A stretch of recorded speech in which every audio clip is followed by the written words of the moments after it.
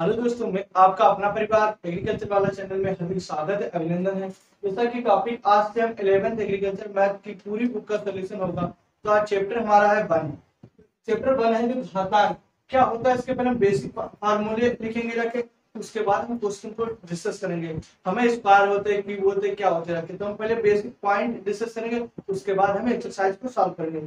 इससे पहले हम फार्मूले लिख देंगे जितने भी फार्मूले हमारे यूज़ होते रखे इसका पहला फार्मूला होता है? किसी की अगर पावर लिखी होती, अगर ए की पावर एम गुड़े ए की पावर एन तो नियम क्या होता है? गुड़े में पावर जुड़ जाती है।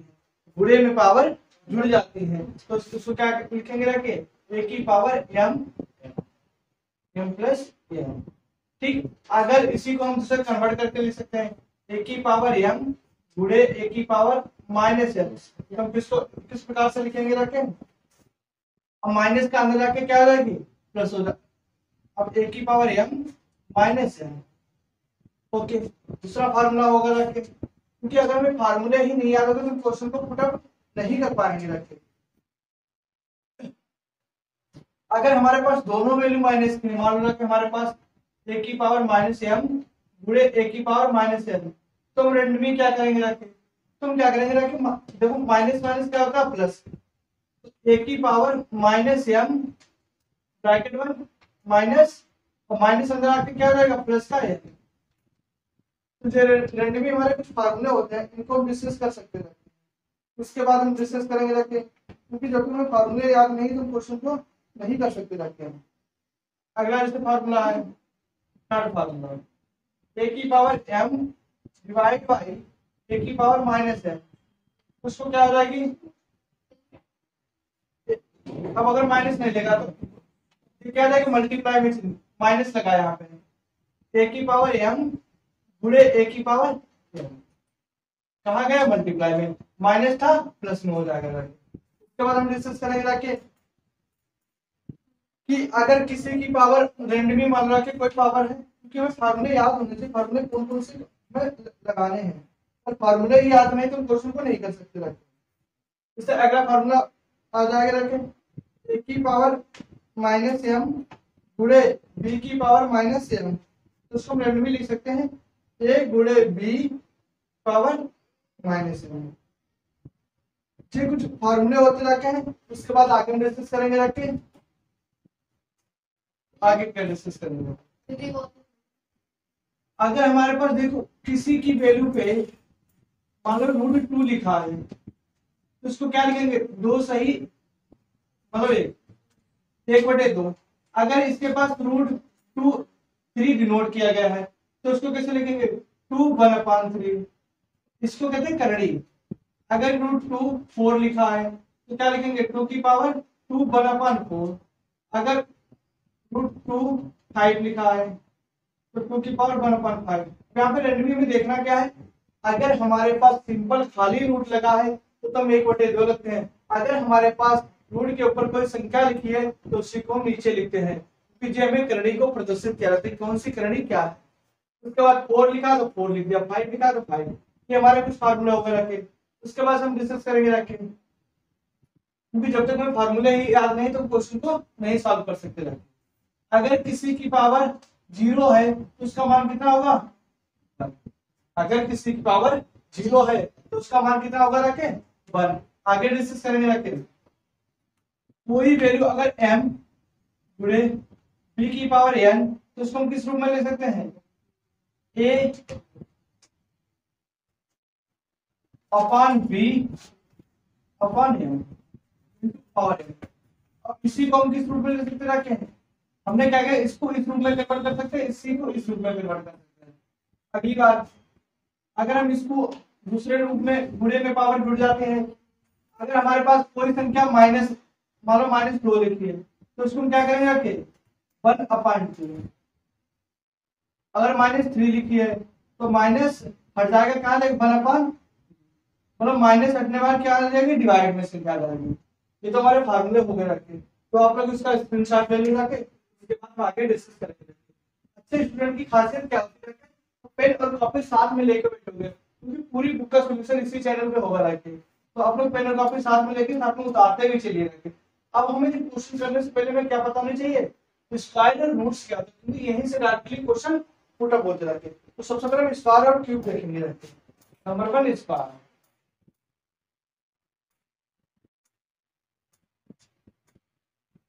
स्क्वायर को कहते हैं वर्ग वर्ग मतलब संख्या। उसी संख्या की उसी से गुणा।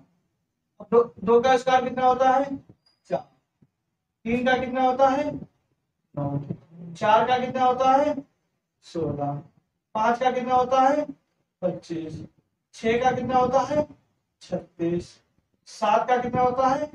उनचास आठ का कितना होता है? चौसठ। दस का, नौ का कितना होता है? इक्यासी। दस का कितना होता है?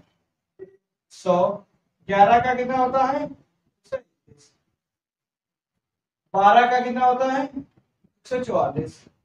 तेरह का होता रखे हैं एक सौ उनहत्तर चौदह का एक सौ छियानवे, पंद्रह का, दो सौ पच्चीस, सोलह का, दो सौ छप्पन, सत्रह का, दो सौ नवासी, अठारह का, तीन सौ चौबीस, उन्नीस का, तीन सौ इकसठ, बीस का चार सौ। इक्कीस का चार सौ इकतालीस। बाईस का चार सौ चौरासी। तेईस का पाँच सौ उनतीस। चौबीस का पाँच सौ छिहत्तर। पच्चीस का छह सौ पच्चीस। तुम्हारे स्क्वायर हो गए रखे अगर हमें स्क्वायर याद नहीं होंगे तो क्वेश्चन को पुटअप नहीं कर सकते। देखो क्या बताया? दो का स्क्वायर चार। तीन का नौ, चार का सोलह, पाँच का पच्चीस, छ का छत्तीस, सात का उनचास, आठ का चौसठ, नौ का इक्यासी, दस का सौ, ग्यारह का एक सौ इक्कीस, बारह का एक सौ चौवालीस, तेरह का एक सौ उनहत्तर, चौदह का एक सौ छियानवे, पंद्रह का दो सौ पच्चीस, सोलह का दो सौ नवासी सोलह का दो सौ छप्पन, सत्रह का दो सौ नवासी अठारह का तीन सौ चौबीस, उन्नीस का तीन सौ इकसठ, बीस का चार सौ, इक्कीस का चार सौ इकतालीस, बाईस का चार सौ चौरासी, तेईस का पाँच सौ उनतीस, चौबीस का पाँच सौ छिहत्तर, पच्चीस का छह सौ पच्चीस। अब आप लोग हमारे साथ ही बोलेंगे जाके धीरे धीरे क्या बोला?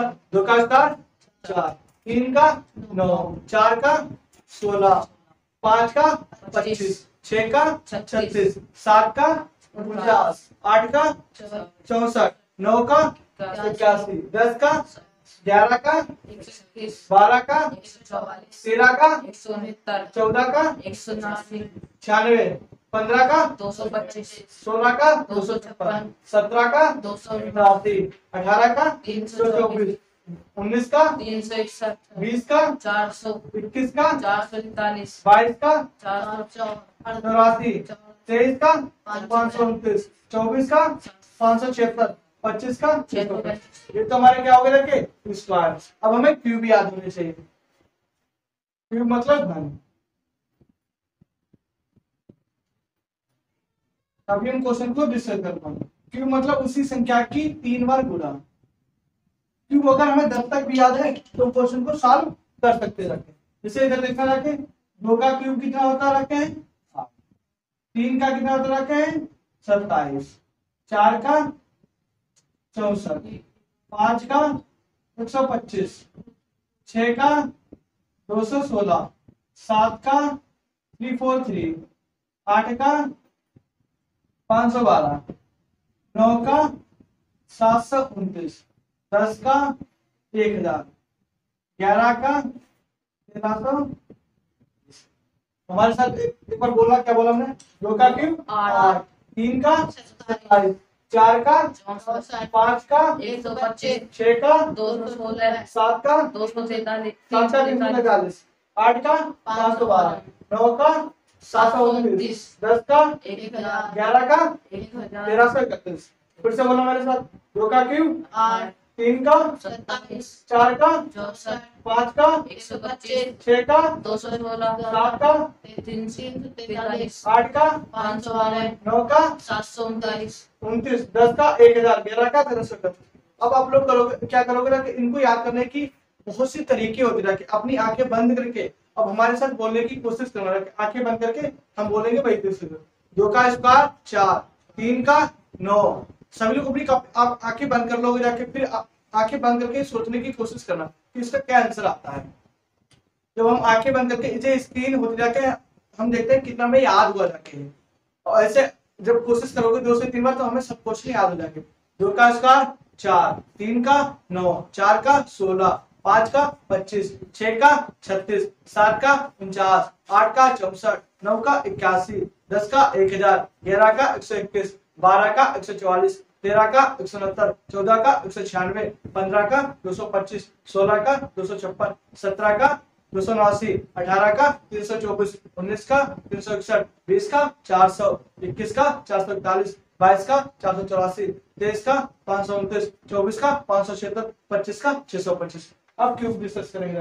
दो का क्यूब आठ, तीन का सत्ताईस, चार का चौसठ, पाँच का एक सौ पच्चीस, छह का दो सौ सोलह, सात का तीन सौ सैतालीस आठ का पाँच सौ बारह, नौ का सात सौ उनतीस, दस का एक हज़ार, ग्यारह का तेरह सौ इकतीस तो आप लोगों को याद हो गए होंगे, आशा करते हैं। अब आप लोग इसका क्या लोगे स्क्रीन शॉट ले लोगे और अपने सभी दोस्तों को तीन क्लास शेयर कर दो, जाके।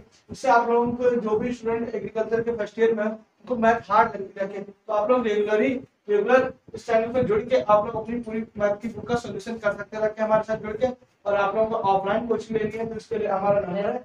आप लोग देख सकते रखे nine three six nine zero triple four one. इस पर कोई भी इंफॉर्मेशन आप लोग ले सकते हैं। अब आगे हम डिस्कस करेंगे क्वेश्चन कैसे आते जाते हैं। तो आप लोगों ने स्क्रीन शॉट ले लिया होगा।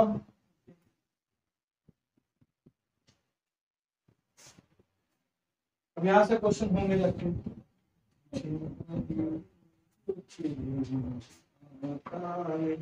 देखो देखो क्वेश्चन कैसे आते रखे पहला क्वेश्चन हमने जैसे रैंडमली लिखा रखे पच्चीस, एक बटे दो। दूसरा क्वेश्चन हमने लिखा रखे छत्तीस, एक बटे दो। दूसरा क्वेश्चन हमने लिखा रखे उनचास, माइनस एक बटे दो। चौथा क्वेश्चन हमने लिखा रखे चौसठ, एक बटे तीन। अगला क्वेश्चन लिखा रखे पांचवा चौसठ, एक बटे छ चौसठ, एक बटे दो। चौसठ, माइनस एक बटे दो। अब आप लोग सोच रहे हो कि सर ने चौसठ ही चौसठ इतने सारे क्वेश्चन क्यों लिख क्योंकि एक ही क्वेश्चन को कितने तरीके से पूछ सकते रहते हैं। तो हमें देखना चाहिए कि कौन सी तरीके की सिर्फ़ ट्रिक में बताएँगे क्या ट्रिक होती रहती है। हम देखते हैं किस तरीके से क्वेश्चन को करना होता रखे अब जो हमने कितने क्वेश्चन लिख रहे हैं सेवन क्वेश्चन लिखे हैं। सेवन क्वेश्चन को पहले डिस्कस करेंगे सबसे पहले इसके दो तरीके होते रहते हैं। इधर देखो, सबसे पहले इसके दो तरीके क्या होते रहते हैं?